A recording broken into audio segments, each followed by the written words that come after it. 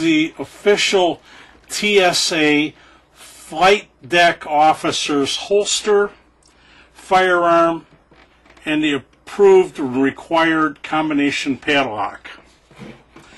Now the gun that the FFDO carries must be fully loaded, and obviously it should be. Uh, but the TSA doesn't want the flight deck officers to carry this firearm anywhere outside of the cockpit. Uh, well, that's fine, even though they're the captain of the entire plane, not just the cockpit. That's what the TSA has mandated. Well, anyway, what happens is that the flight deck officer simply gets into his seat, locks the cockpit door, and then he has to remove this silly padlock. And when he removes it, it goes right through this little hole. And the hole is so small you actually can't see where the trigger is.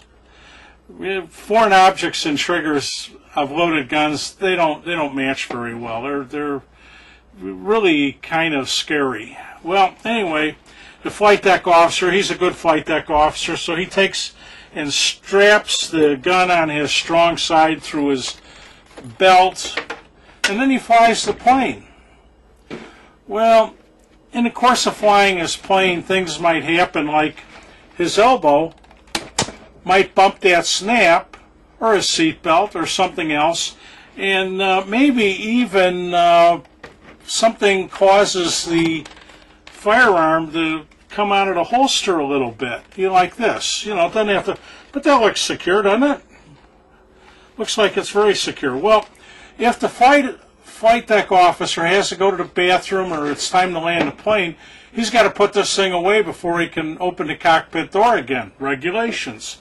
So what he does is he takes this silly padlock and then he pushes it through the hole like he's supposed to and then he snaps it shut. But in this case, I think he found that his holster wasn't fully snapped for some reason. So, ooh, well, I guess he's got to push it down in a little bit. Oh, look at that! It discharged. It discharged because the shackle was in front of the trigger. Of course, the flight deck officer couldn't see it. The TSA, they didn't engineer this thing properly, and what they created was a tremendous hazard. It's a good thing the officer didn't blow his own kneecap out.